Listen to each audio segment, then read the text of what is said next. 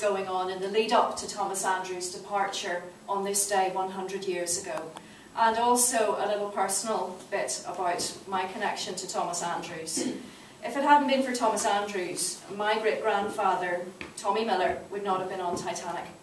Thomas Andrews wrote him the reference which got him the job at White Star, and he made the switch from a Harland and Wolff engineer to being an assistant deck engineer on board Titanic. And he said goodbye to his children, my five-year-old grandfather and his brother, 100 years ago yesterday. And 100 years ago today, my five-year-old grandfather watched his father sail out of Belfast Lough on board Titanic. Susie, how important is this building to the story of the Titanic? This is where Titanic started, you could say, because this is where Thomas Andrews lived from 1908 right up to his departure on the morning of the 2nd of April 1912. So all the ideas that he had for the design of Titanic were all concocted as he walked around the corridors and the stairs of this beautiful house. And you can see elements of Titanic in the decor of the house, the arched windows, the stained glass, the sweeping staircase. He must have taken inspiration from those things for the interior design of his wonderful ship.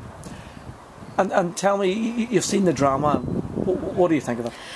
I think that the drama really brings home that Thomas Andrews was a real person. He's not this fictional character that you see portrayed in the movies and you, you hear about in connection with Titanic. He was a husband and he was a father and he was very, very proud of the ship that he had created. He thought he would return to this house within a couple of weeks, and yet as he walked out this front door and into the horse and carriage, that was the last time he ever saw this house. So I think it brings home the poignancy and the fact that the Titanic is a human story. And you're involved in the tourism side of Titanic. Tell me a little bit about that. Well, for the past four years now, I've been bringing tourists around in small groups, and um, I'm, I'm very happy to say that the IFA has been very kind in letting me bring those groups into your work environment here in Windsor Avenue, just to tell them a little bit of the backstory of Titanic and the fact that this is where Thomas Andrews lived and left from. Um, and it also brings them round to the other stages of Titanic's construction and her unfortunate demise. It's based on the fact that I have a connection to my great grandfather was on board and would have left on the 2nd of April as well.